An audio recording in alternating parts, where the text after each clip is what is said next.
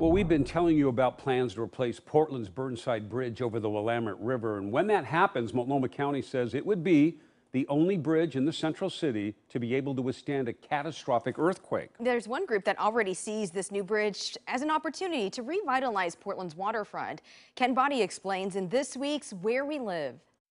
We met Willie Levenson of the Human Access Project at the east end of the Burnside Bridge. So that little tower right there is where the stairs are.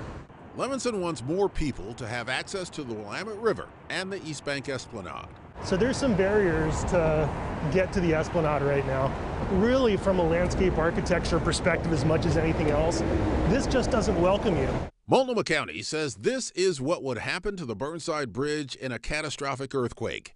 They want to build a new bridge that's earthquake ready.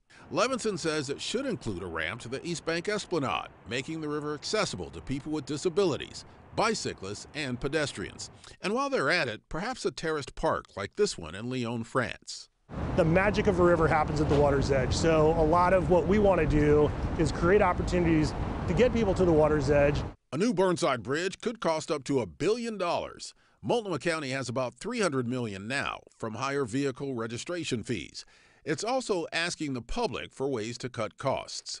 Recently, Portland City Council did approve $20,000 to study how much a ramp would cost instead of the elevator in the county's current proposal. Uh, replacing the Burnside Bridge is literally a once in a century opportunity to remake and reimagine the East Bank Esplanade. So it's still a long shot, but it uh, you have to celebrate your victories. There's a lot more work ahead. The design phase doesn't even begin until next year.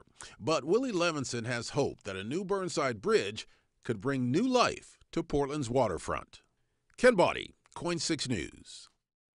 All right, you got to be patient though with all this. Multnomah County says new Burnside Bridge could be completed by 2029. That's assuming it does get federal infrastructure dollars. Meanwhile, though, they're asking for your thoughts regarding design and the cost. We've got a link to that online survey at koin.com.